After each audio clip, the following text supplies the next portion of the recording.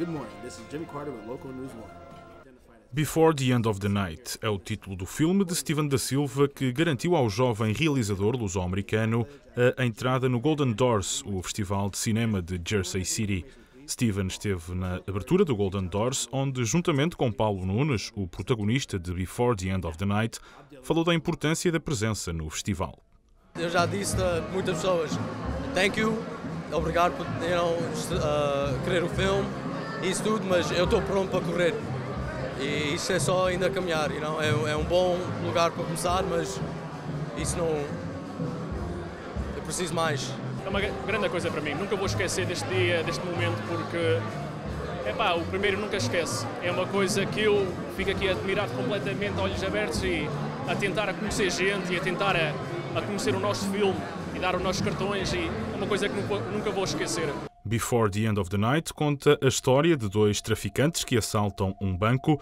A operação corre mal e os dois criminosos acabam por ter de fazer um refém. Além de co-protagonizar a história, Steven da Silva também a escreveu e dirigiu, um processo que obrigou o jovem realizador a superar-se.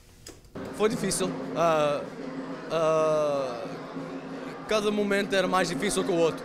Escrever o filme era a coisa mais difícil que eu fiz na vida. Pois depois dirigir o filme foi a coisa mais difícil, depois ser o ator no filme quanto dirigir foi, depois a edição foi mais, depois o color foi, era tudo... No enredo, o personagem de Paulo Nunes acaba por se ver envolvido no centro da ação de forma algo involuntária. É um gajo que tem 24 anos, vive sozinho no, no basement de casa do pai, que já morreu há uns anos atrás, e pensa que é a vida que ele merece. Ele pensa que ele está a viver a vida que ele merece, que é uma coisa. Não fez grande coisa, deixou a escola, começou a vender droga, começou a fazer isto e aquilo. E... A violência é um dos temas centrais de Before the End of the Night. Paulo Nunes não esconde que esse pode ser um reflexo de uma adolescência vivida em Newark, onde o filme foi rodado. Eu vi muito disso a, a crescer em Newark, eu vi muito de gente assim, tem, quem tem que vender droga, quem tem que viver assim, para sobreviver. Eu entendo. E agora fazer o filme, agora ver o filme o que é, é uma coisa que não é assim tão preto e branco para mim. É uma coisa mais entender. No fundo, o filme de Steven da Silva retrata a ambição própria da juventude que muitas vezes leva a caminhos mais escuros na procura do sucesso. É só de falar de pessoas, o que é que eles sentem há 24 anos, quando eu escrevi o filme. Aquele sensação que queres fazer uma coisa na vida e não podes, estás um pouco parado, you know, e, e tu queres tudo que pessoas têm há 30, 40 anos e tu ainda és novo, mas e também é aquele, é, o, a transição entre ser eh, uma criança e um adulto.